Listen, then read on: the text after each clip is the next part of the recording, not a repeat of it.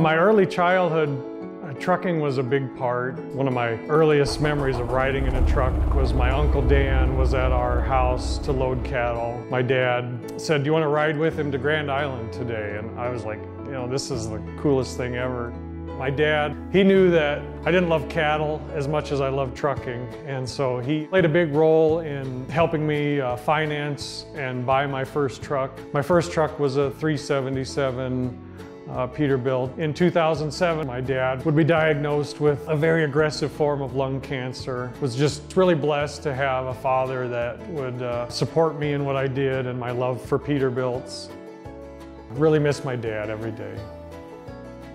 My aunt said there's this, uh, this girl I want you to meet and uh, give her a call. So I called her one night and we talked on the phone for about an hour and decided to go on our first date. And one night I was gonna be going through Lincoln on my way to Omaha with a load of cattle.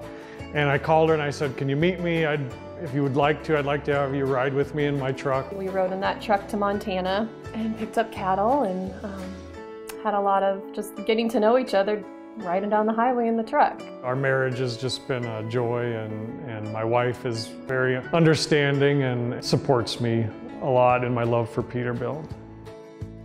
I'd kind of had a rough day. I was getting home late. Uh, when Melissa called, she said that I've been picked as one of the Superfan finalists and my heart jumped into my throat. When he told me, I, I think I was like, are you joking? Like, you better be serious because don't lie to me about this, you know. I was just shaking and I was kind of speechless almost. It was like, thank you, this is an incredible honor.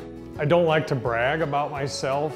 I kind of like to let the trucks I drive and the work that I do do the talking for me. I am a Peterbilt super fan.